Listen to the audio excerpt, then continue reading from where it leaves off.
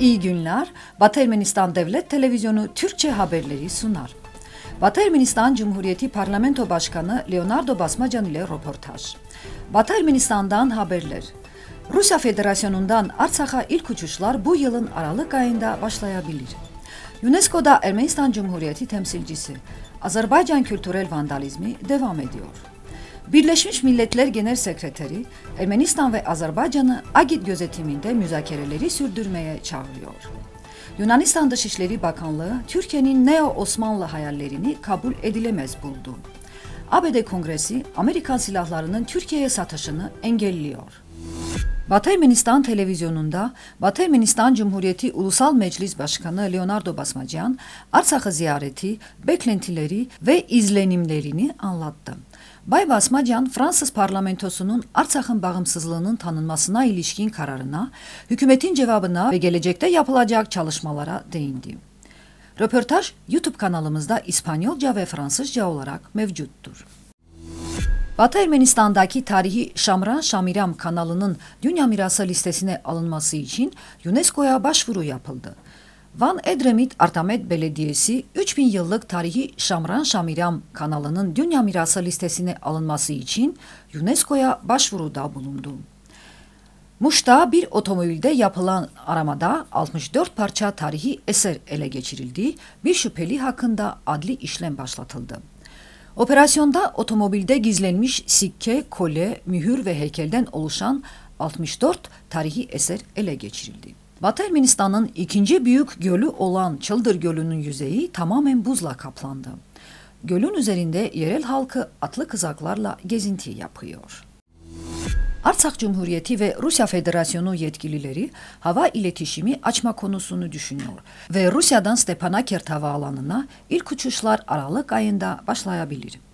Bu Artsak Cumhuriyeti yönetimindeki bir kaynağa atıfta bulunarak RIA Novosti tarafından bildirildi. Ajansın muhatabı yıl sonuna kadar Stepanakert Havalimanı'nda uçuşlara devam etmenin mümkün olup olmadığı sorusuna bu cevabı verdi. Şimdi her iki taraf da bunun gerçekleşmesi için çaba gösteriyor.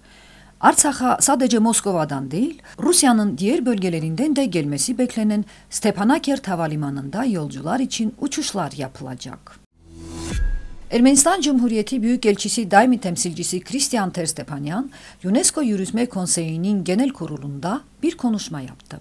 Ermenistan Cumhuriyeti daimi temsilcisi yaptığı konuşmada, Dünya kültür mirasını korumak için asil bir misyonla kurulan UNESCO'nun kültürel mirasın kasıtlı olarak yok edilmesini engellemekten aciz hatta güçsüz olduğunu üzülerek ifade etti.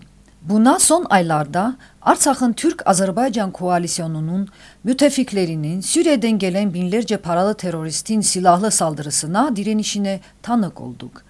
Bu saldırı sırasında Ermeni halkının önemli ibadet yeri ve 19. yüzyılın mimarisinin bir şaheseri olan Şuşi'deki Gazançetos Kilisesi iki kez bombalandı. Ermenistan Cumhuriyeti daimi temsilcisi UNESCO Genel Müdürü'nün bölge mirasının korunması için bir sonraki çağrısını yaptığı sırasında bile Azerbaycan'ın Ermeni kültürel mirasına yönelik devam eden vandalizmi hakkında bilgi ve gerçeklerin alındığını vurguladı. Birleşmiş Milletler Genel Sekreteri Antonio Guterres, Yerevan ve Bakü'ye Agit'in himayesinde kalıcı barış görüşmelerine devam etmeleri çağrısında bulundu. TAS ajansının bildirdiğine göre bunu gazetecilere verdiği demeçte resmi temsilci Steden Dujarik açıkladı. Dujarik'e göre Guterres, Ermenistan ve Azerbaycan hükümetlerini ve halklarını bölgesel barış, istikrar ve refaha götüren bir diyalog yolunu izlemeye çağırdı. Genel Sekreter temsilcisi, Genel Sekreter Birleşmiş Milletler'in çatışmadan etkilenen tüm bölgelerin ihtiyaçlarını karşılamaya ve gerekirse Ermenistan ve Azerbaycan'a yardımı artırmaya hazır olduğunu vurguluyor. Çatışmanın tüm taraflarını engelsiz erişimlerini sağlamak için Birleşmiş Milletler ile tam işbirliği yapmaya çağırıyorum diye ekledi. RIA Novosti'nin bildirdiğine göre Yunanistan Dışişleri Bakanı Nikos Dendias, İtalya Dışişleri Bakanlığı'nın desteğiyle İtalyan Uluslararası Siyasi Araştırmalar Enstitüsü tarafından düzenlenen Akdeniz Diyalogları konulu bir konferansta Türkiye'nin neo Osmanlı hayalleri var ve bu kabul edilemez dedi. Görüşme sırasında ev sahibi son yıllarda Doğu Akdeniz'deki doğalgaz rezervlerinin gerginliği tırmandırdığını söyledi ve Yunanistan'ın Türkiye'nin eylemlerinden endişe duyup duymadığını sordu. Dendias, Atina'nın çok endişeli olduğunu söyledi. Ona göre 21. yüzyılda Avrupa ülkesi yasal hakkı kullanma niyeti için savaş tehdidi altındadır. Bakan, Türkiye ile durum çok zor. Avrupa Birliği'ne katılmak istiyor. Ancak Türkiye'nin neo-Osmanlı hayalleri var. Bizim için bu kabul edilemez, dedi. ABD Kongresi Türkiye'ye Amerikan silah ve askeri teçhizat tedarikini engelledi. TASS ajansının haberine göre bu cuma günü ABD askeri ve siyasi işlerden sorumlu Dışişleri Bakan Yardımcısı Clark Cooper tarafından onaylandı. Cooper, evet kongre Türkiye'ye silah satışını askıya alıyor dedi. Konuyla ilgili başka yorum yapmadı.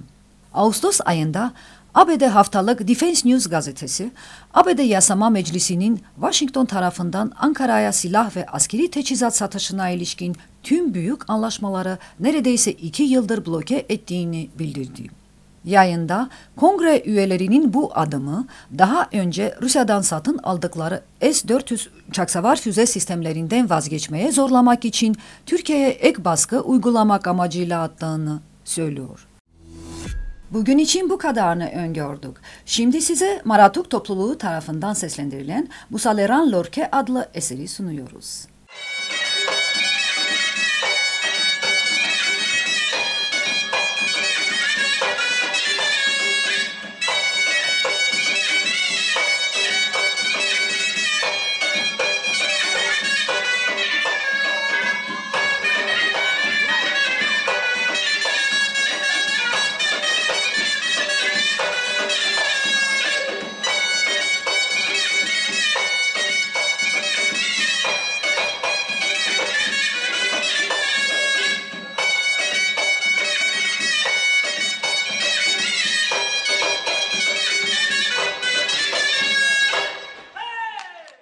Eserin tamamını Batı Ermenistan Devlet Televizyonu'ndan izleyebilirsiniz.